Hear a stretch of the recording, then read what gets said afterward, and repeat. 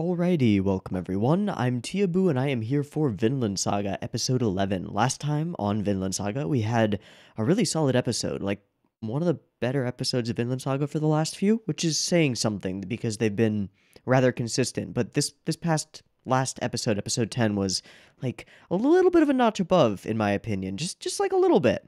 There was some some really gorgeous visuals, some some really gorgeous use of like a dream sequence and just just cool stuff. And then beyond that, we had a, a really interesting conversation between Askeladd and uh and and Thorfinn and this whole kind of awesome thematic interlay i don't know what i'm looking for for a word there but there's a better word for it um th- this awesome theme interwoven through the episode of um like fatalism and belief that the end times are coming and that one might as well go out with a bang but also that that like everything is coming to an end and so our, our actions here and now are all that we have which was just kind of kind of fascinating and kind of cool and i hope that it keeps going um, and coming off of the the end of that, Askeladd made an interesting decision, a really interesting decision to kill a messenger being sent uh, to gather aid from the main army to help out uh, Canute and Frendos, to kill that messenger, prevent the word from traveling so that he and his can go and get theirs. Uh, We'll have to see how this plays out, but he is going with a, a his small strike force in order to defeat a much larger army. Although it's not necessarily a defeat. This is an in and out like SWAT team rescue mission. This is this is an extraction. So, uh much smaller party probably is all that we need and we need our stealthiest and and sneakiest and most hey look we there's somebody around the corner and now they're dead people which seems to be Thorfinn. Uh, so I'm expecting that that Thorfinn is going to be maybe kind of spearheading this mission in a weird way. Um, we'll have to see. We'll have to see. But I am extremely interested in seeing how this plays out. I'm also hoping that we get some kind of more information on on Canute, any kind of actions taken by Canute, any kind of speeches made by Canute, anything from Canute, because Canute is right now becoming like the center of this maelstrom of conflict and i would like to know what that center consists of. So i, I want to know who this person is. We've got a surprising inf- amount of information for a character that has not spoken yet just from uh, other characters talking about canute and just the general like the the appearance speaks volumes. The the the the armor, the the the beautiful face and features and hair and the seeming extreme piety, the the very pious nature of this character speaks volumes, but it doesn't speak enough for me. I want more. I want more. I need it. In any case, Vinland has been continuing to be really solid and yay. Solid things, good shows are good. Yay. Um so I'm excited for this next episode. Let's go ahead and jump on into it, and I won't blather too much here at the beginning. So I've got the episode up and ready to go. There will be two versions of this reaction. You can find the picture-in-picture version with the video up in the corner, uh, down in the description, and you can find the timer-based version up on YouTube. You're probably watching it right now if you're hearing me say this. Uh, the picture-in-picture version will have the video in it, but it will not have discussion at the end. So if you want that, stick around till the end of the timer-based version on YouTube, which will have the discussion at the end, but no video in it because YouTube. Um, so if you do want to use the timer-based version and sync up with your own copy of Vinland Saga, you can do that. Uh, just get it ready because there will be a beep beep timer to count you down to zero, and it will be coming at you right now.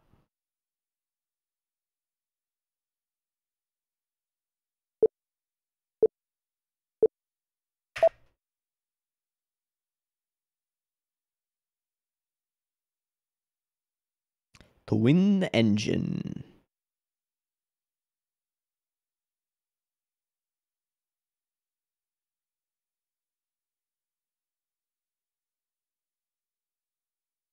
OP start. Okay.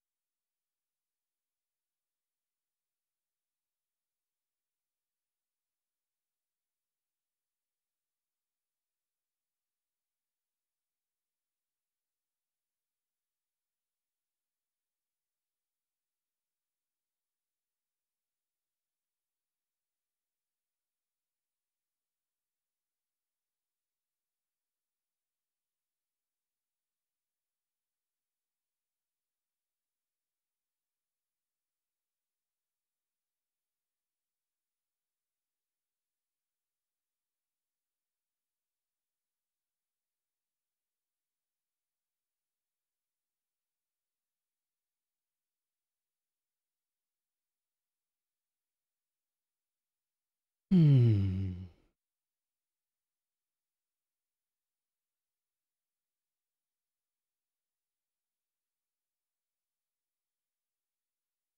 Oh, hi. Those are really good looking leaves, just saying.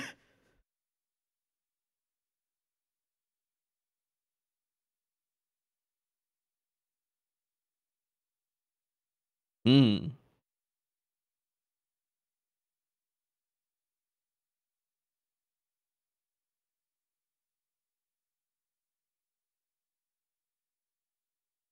Hmm. That sounds good.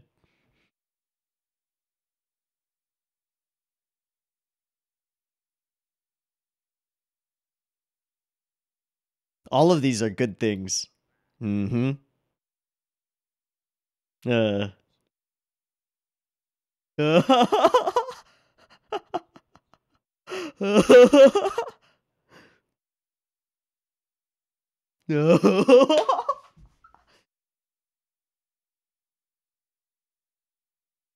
oh, this guy. His name starts with an A?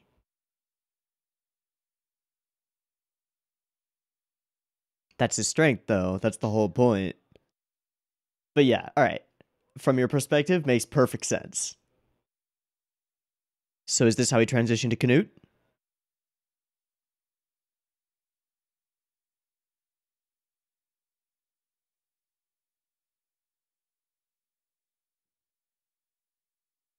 Yeah.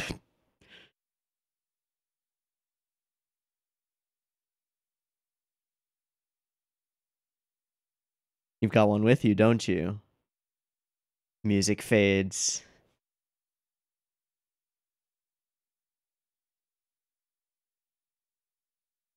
Speak? Nothing. Nothing at all.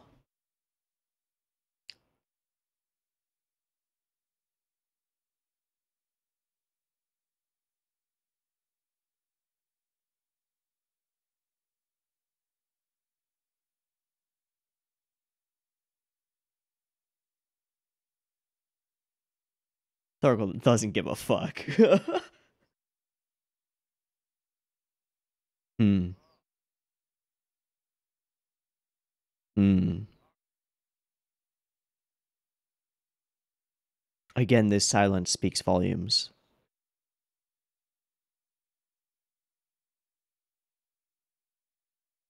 He is getting a little bit Shakespearean up in here.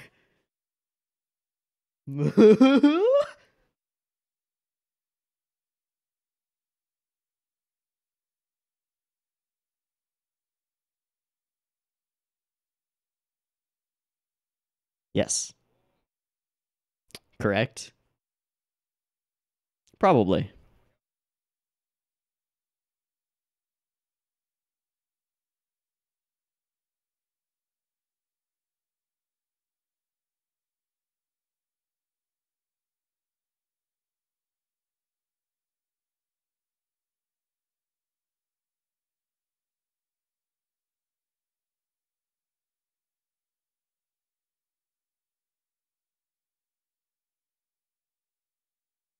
Mm-hmm.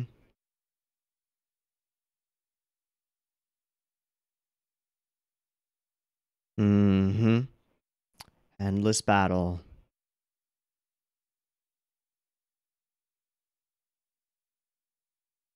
Endless feasting. Ooh, and the symbolism. Canute as male Valkyrie.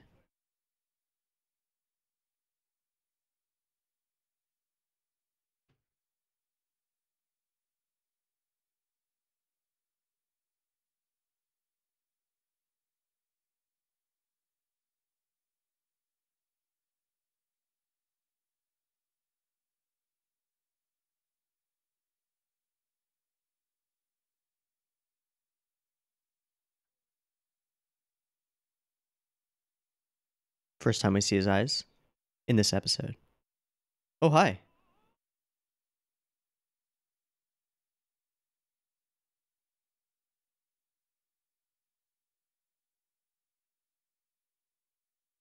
An alcoholic priest.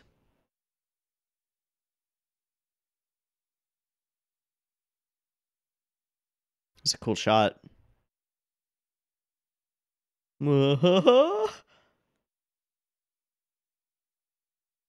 There's nothing funny about that.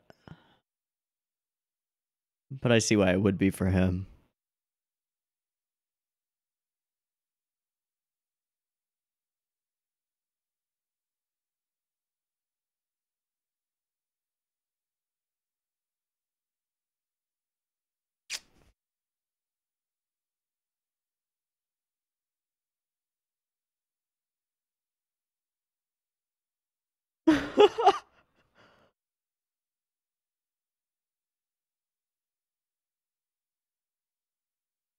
The attack.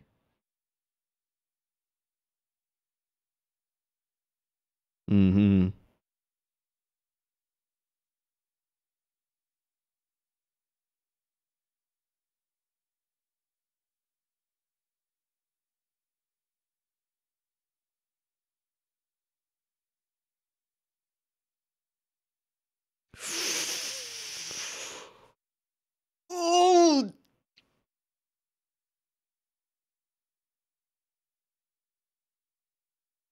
Jesus.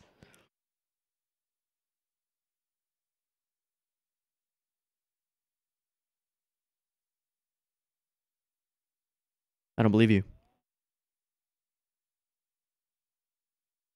Don't believe you.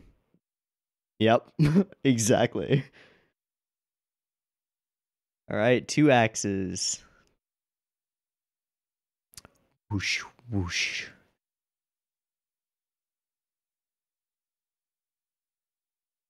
You're just here to be for fun. Hmm.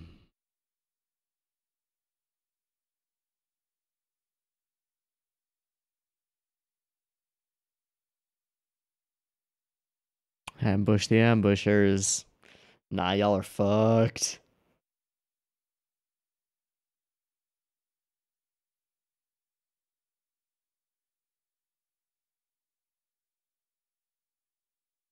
Oh.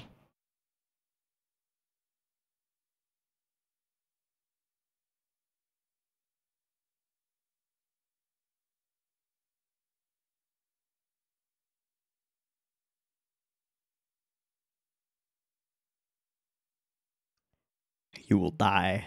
You will all die.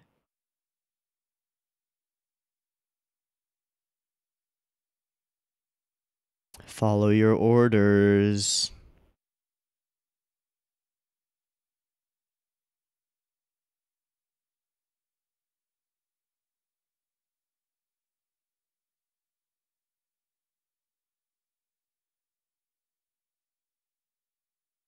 Yeah, we don't actually have 2000.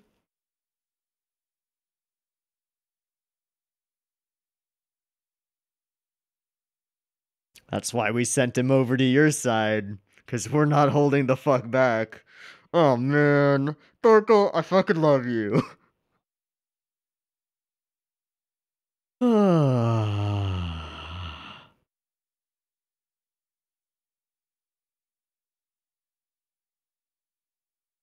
Inbound whirlwind of death. Uh oh. That's what we want. Yeah. that doesn't scare us. Oh, Jesus. Hmm. Hmm.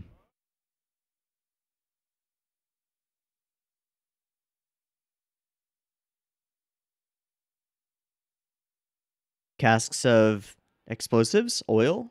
They wouldn't have black powder at the moment, would they? No.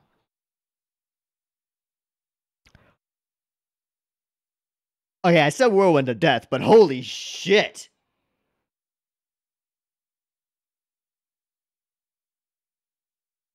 That poor tree.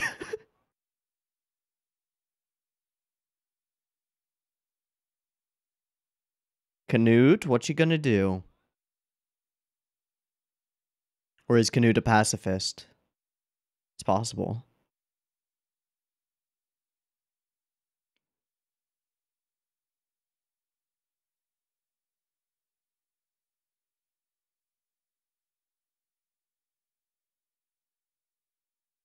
What's in the barrels? What's in the barrels? Oil? Tar?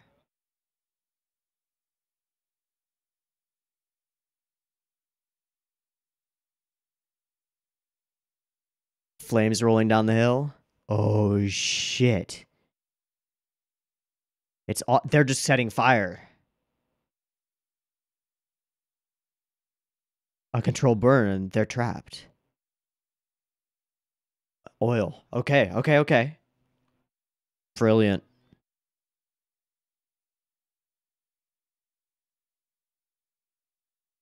A raging inferno and a wall of it.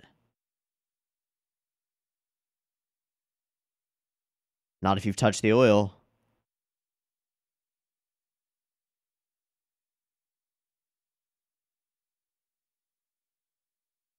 Right here, buddy. Did they encircle them?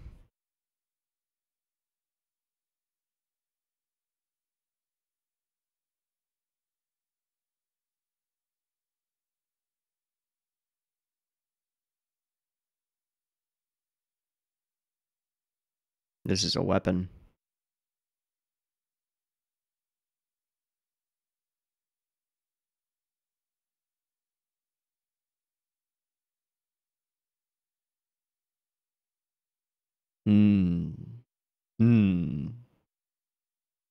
Love those close ups.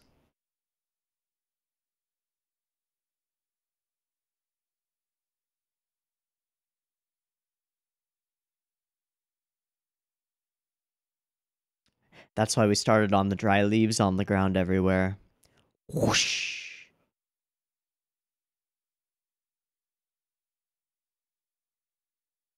Wouldn't count on it.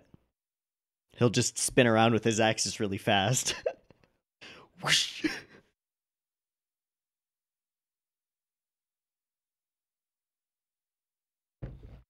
Ah. Through the fire and the flames, let's go.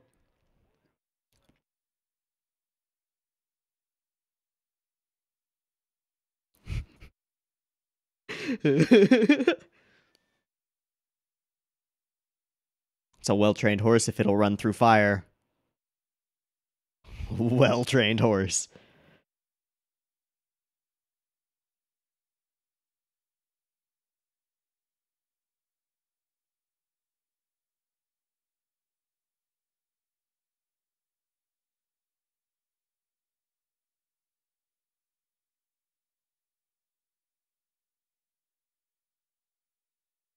it's about as oh, never mind. It's charred.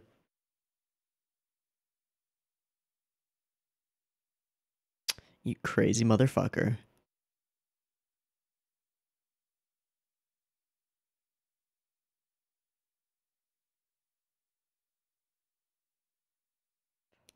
Trust him to do what Askeladd wants when Askeladd makes use of his manipulative abilities. Yeah. An idiot who's not afraid. Yep.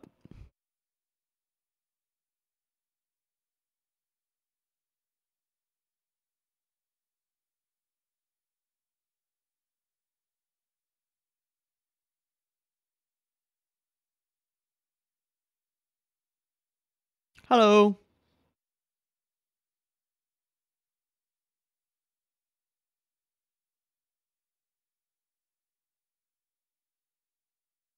Scared one. There you go.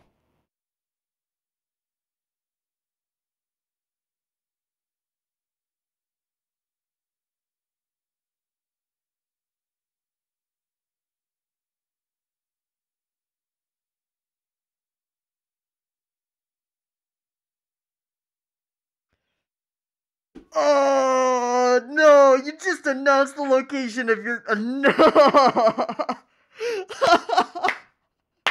you fucking idiot. Who are these? This is a, a third group, isn't it? Oh no, it's still Thorkel's men. Okay, okay, okay. Rest are fair game though.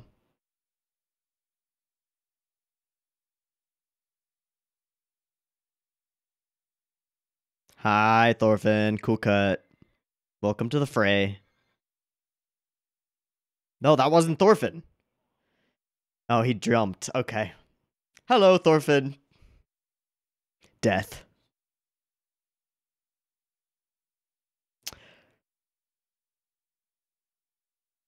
You can try. you can certainly try. Uh. Uh.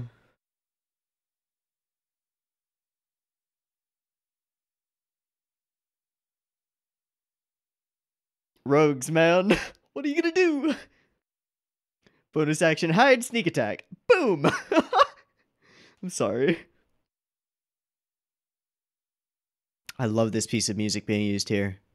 Very interesting.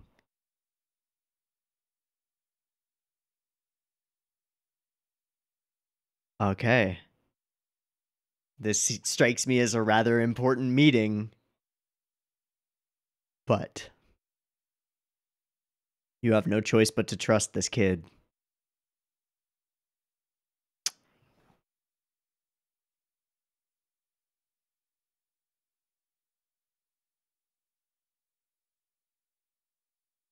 Hi, Thorkel. The hand, yep. Rematch! uh-oh. A big uh-oh. Uh-oh. Uh-oh. Nope. Mm-mm. You would lose. Yep.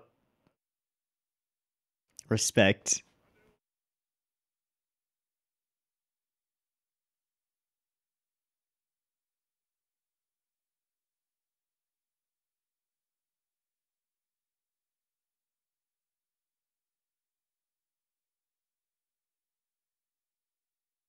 Hi.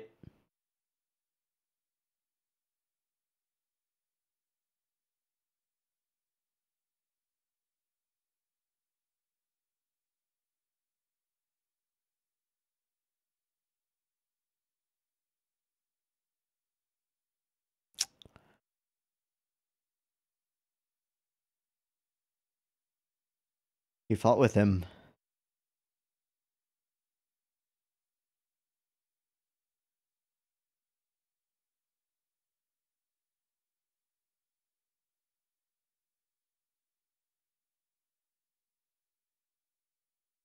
Looks more like his mother.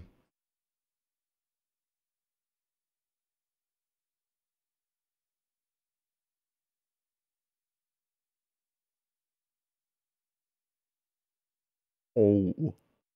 Oh, that's so badass.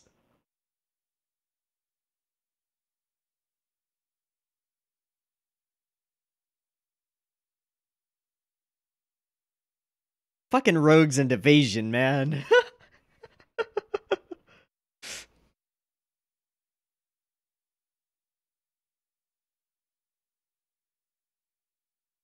okay. Okay.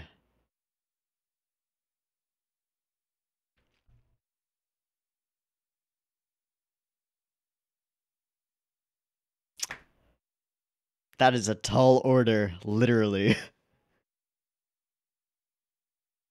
Wow.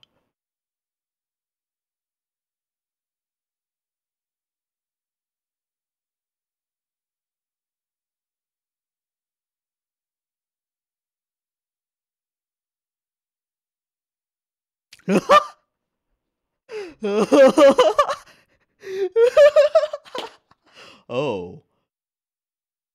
And the laughing ceases.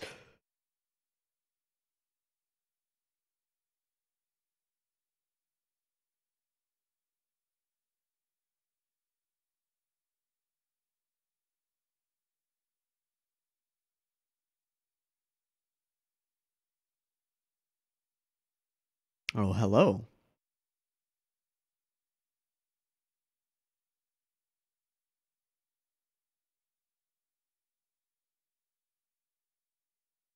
Trust was warranted.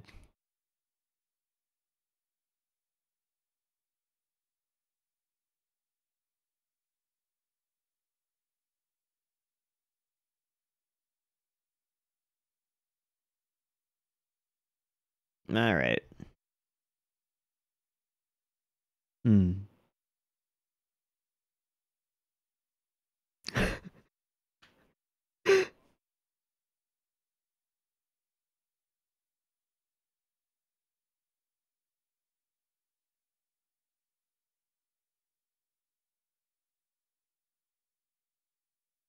Formal.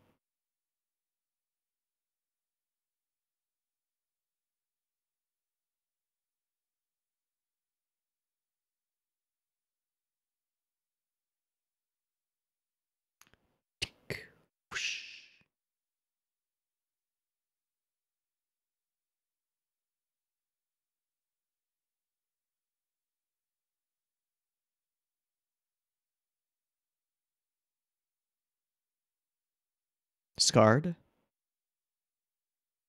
Or just beautiful? Yeah. Yeah.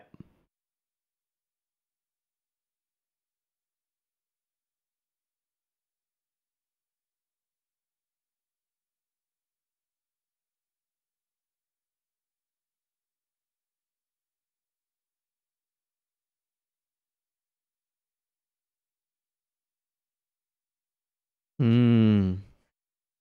Plays back into. Mm-hmm.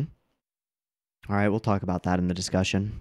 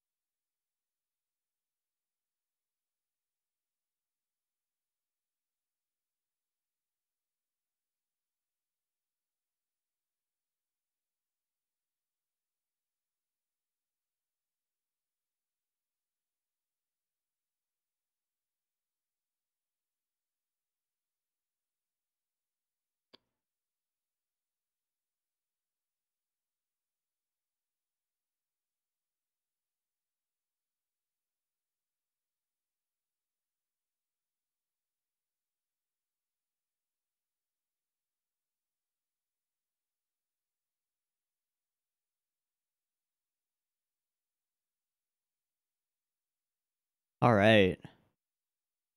There's a lot to love in this episode, I think. Um, some things that weren't immediately apparent when they appeared, but then played into other things in the episode.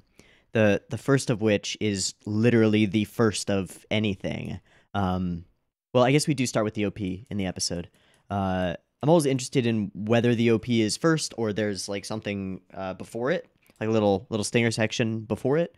Always interested in that. Um, I was wondering why there was so much effort put into, seemingly put into these leaves, the dry leaves on the ground. Just wondering. And then you realize when they set the fire that it's all been set up for you, that this entire forest that they're going through is tinder on the floor everywhere. So snap a match, whoosh. I mean, yeah, yeah. Uh, being being a Southern Californian who has grown up with the threat of forest fires constantly and has had multiple fires come within a few miles of, of where I live, like that's scary. that's scary stuff. Then we we have them bantering and and chatting, and it reminds me more than anything of the way that Askeladd banters and chats with his with his people, except that when when Askeladd is doing it, it seems mm, calculated. It seems intentional and uh, a, a calculated way of interacting with his people. Everything Askeladd does seems calculated to me, especially interpersonal things and things that sway people's opinion or beliefs to his side.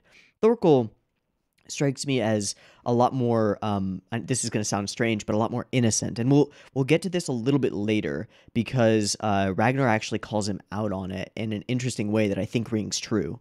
Um so we'll talk about it a little bit later but Thorkel strikes me as a little bit more innocent and a little bit more genuine in his in his in his banter with his men. Um he's much more one of the guys although he stands head and shoulders above them literally and figuratively. Am I out of lead in this pencil no, thank goodness. Oh, it just fell out. I think I am. Oh, nope, we're good. Cool. Um, okay. So Thor- Thorkel's banter and, and general confidence is is interesting and pretty cool. Uh, the the men sort of relaxing, talking about the well. You have to you have to imagine that that traveling raiders end up experiencing a lot more of the world than people who stay static. People who stay static and live in a village their entire lives experience what's in that village, and maybe traders that pass through, maybe raiders that pass through, but they're not going to experience things like English beer and cheddar from cheddar. Like, they're not going to experience these things if they're just stuck in one place. And so the Vikings, for all of their, uh, or, or the Normans, uh, for, for all of their, um, their unculturedness, their barbaric ways, are also exposed to a lot of culture that they appreciate without necessarily knowing it, which is kind of cool. They they they gather interesting things from the world and spread them, uh, which is which is strange and interesting. And then women, uh, and then we end up with Christianity is nice, and I fucking love this. This is this is amazing, and this leads us into our conversation about Christianity, which then flows into uh, uh, addressing Canute, Thorkel addressing Canute, which is which is interesting, which is cool. Um, so we move through here. Yeah, they're always telling you to do that, this or that, that or this, and uh, it's it's kind of awesome. It's it's like Batman versus. It's like it's like who would win, Batman or Spider Man, if they ended up fighting? Yeah, um, except with your gods, which is well, it's very much the same thing. Um, like I I see I see superheroes as the very modern secular version of of gods and and goddesses. But uh that's that's very much what this plays out as and what it seems to be to me. And it's it's kind of cool because the Vikings are just like, "Nah, man, Thor's would uh, Thor, not Thor's. Thor would beat the shit out of Jesus. That guy's so weak. Look at him. He's just so weak on the cross." Um I'm not a religious person, but I'm I'm familiar with and interested in a lot of religion, and that's that's very funny to me, and it's a very very humorous, but also it rings true way of looking at looking at another religion from the outside. It seems like a silly group of stories, right? It always does. Um, but you imagine that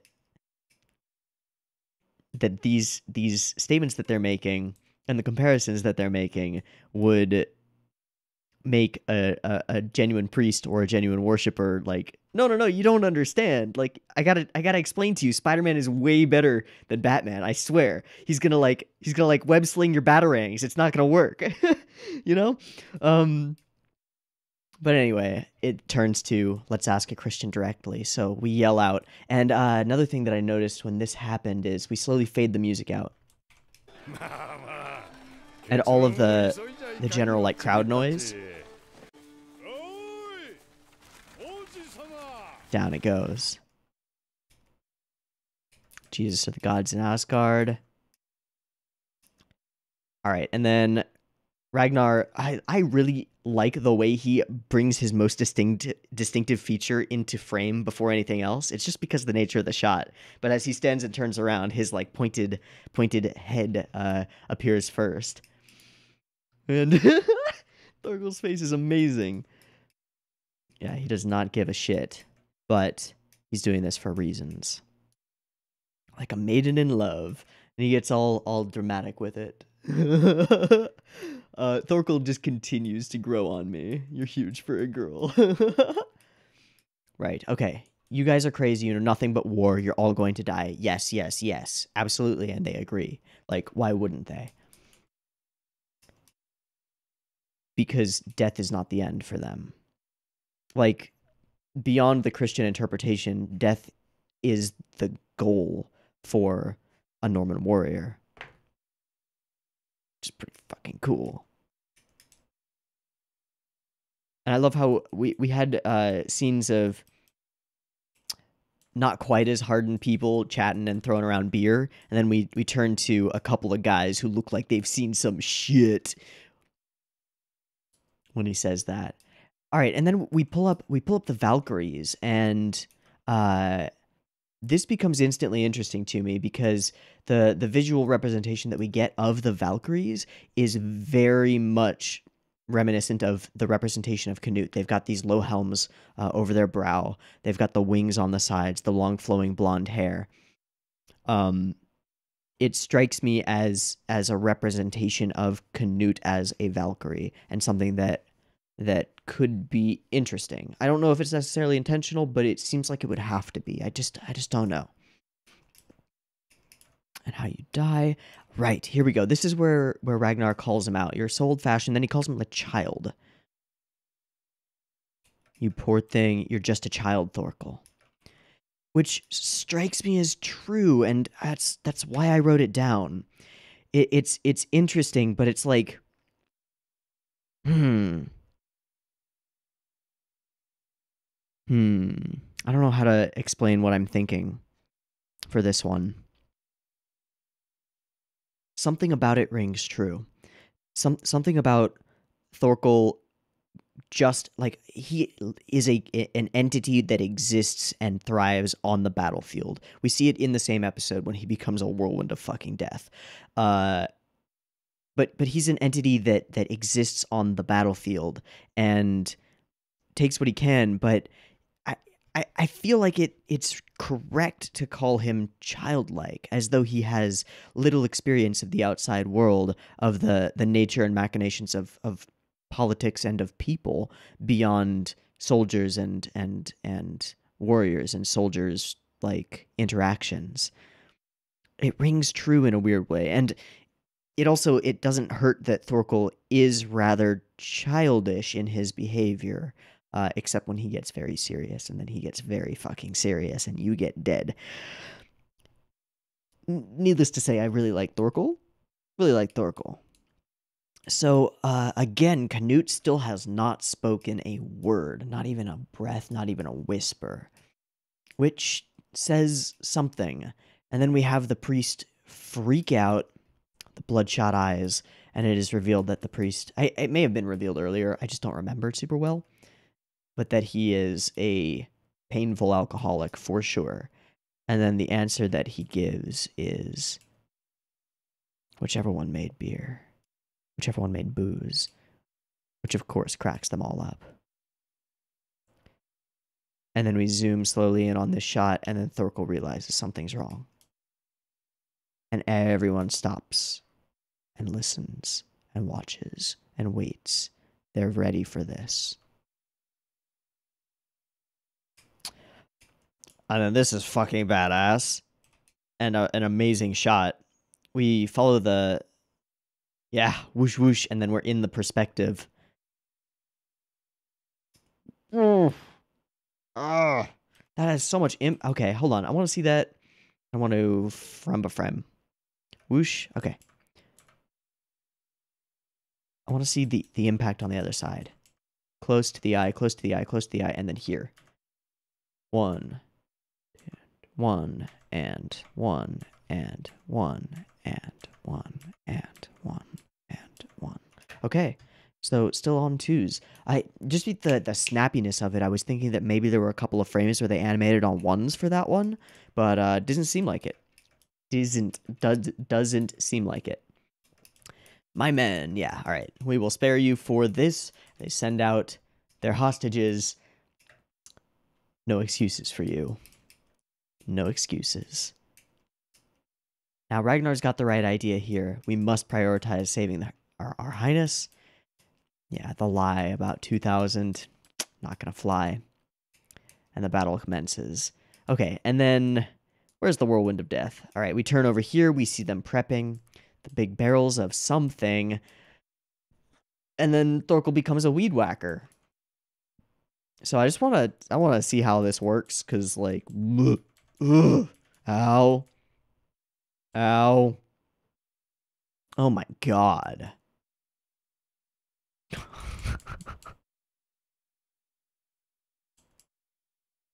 like a whirlwind of body parts. It's insane. It's one of the the most amazing I mean, is it is it incredible animation? It's pretty good.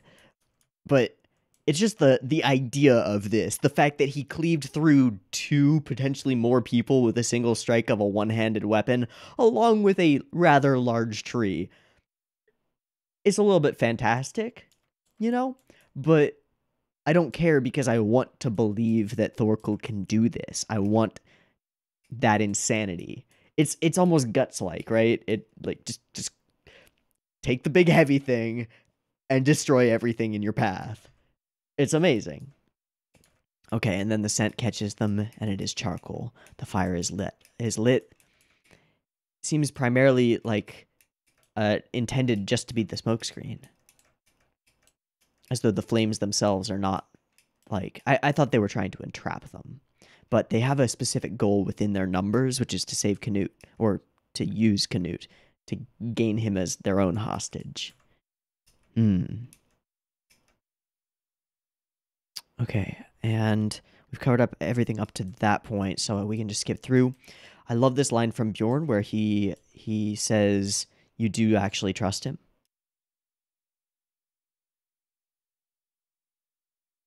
Yeah, you just think that Thorfinn can do it regardless of what you say, you can actually trust him. Also, uh, again, it's always notable when it comes up. That's a good-looking fucking horse. Like a believable looking warhorse. That's cool. Right? The value of an idiot who's not afraid of anything. Yeah. Must escape. This guy's an idiot, and then he's more of an idiot for yelling that your fucking target is right here. Come get him. We get we get a group of the worst looking guys come up around, and then a Thorfinn arrives. Almost Dororo esque with the flaming mane and tail on this horse, which he just lets fly. And drops to the ground in a super badass, like three point landing. Yeah. Whoosh. He got some hang time. Seriously. Uh, allowed, you're allowed to try. And you're allowed to fail. And then, yeah, yeah, yeah, yeah, yeah, yeah, yeah. There's the line. This is, I think, my favorite line in the episode. Why does His Highness never get to choose? And so many things play into this because it's not just it's not just Canute's um situation or location. You don't get to choose being born into royalty. You don't get to choose any of this, but it also plays into Canute's appearance. Um, and I, I feel like this is somehow more important than I know. Canute was born this way, looking like he does, looking like a, a Bishojo, right? Or in, in this case, he is a Bishonen, but um, I've I've I heard from somebody that the author said that he specifically asked Wit Studio to make Canute uh, designed after a Bishojo, a beautiful, a beautiful girl. That's hard. That's really fucking hard to deal with in a society that respects nothing but strength and grit. It's really difficult to deal with. And in this moment, we understand a little bit more than than maybe we did before um, the way in which Ragnar cares for Canute. It's uh, it's more than just a duty to Ragnar. Ragnar really cares. And Ragnar has actually grown on me significantly. I did not like this character when he was first introduced, and it, he, he is growing on me. Uh, I assume he will die soon for that specific reason. Um, but definitely growing on me, definitely interested. And then Thorkel appears. We get another you know I love I love respect amongst warriors and waves at him with his hand that he severed the fingers of. No animosity at all from Thorkel. Again, a little bit childish, just wants to play. Asks the questions, doesn't need the answers, but he figures out who Thorfinn really is. Your mother's name is Helga. I knew them both, and knew them well. That's why you're strong The only man in the world who is stronger than me. But he says who is present tense, so I don't think Thorkel knows that that Thors is down, which is interesting. And he lets them go.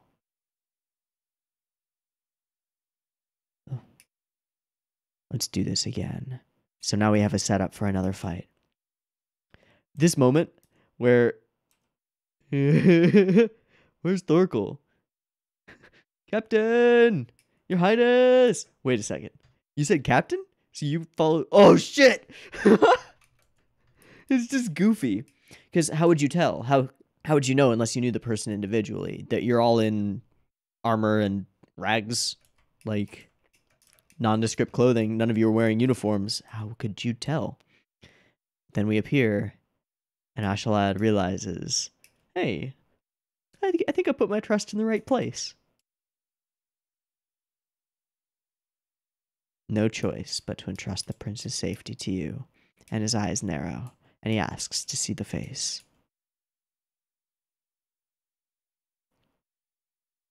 A beauty. Who didn't ask for that? Okay.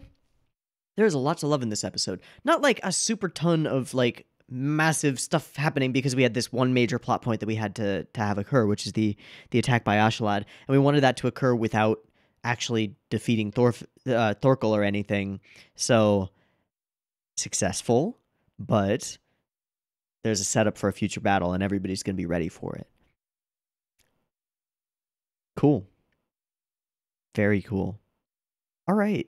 I think that's all that I want to talk about for this episode. If I missed anything or you know just like didn't get anything throw it in the comments if you if you see it and notice it that'd be cool um, if you have other thoughts that you want to you want to share throw them in the comments i'd love to read them I, I do read all the comments still always please don't spoil stuff i would really appreciate that but um yeah solid episode of vinland saga as usual uh love it Anyway, I'm going to wrap it up. I've been Teeaboo. This has been Vinland Saga episode 11. I hope you've enjoyed it as much as I have, and I hope to catch you next week in the next one. Peace.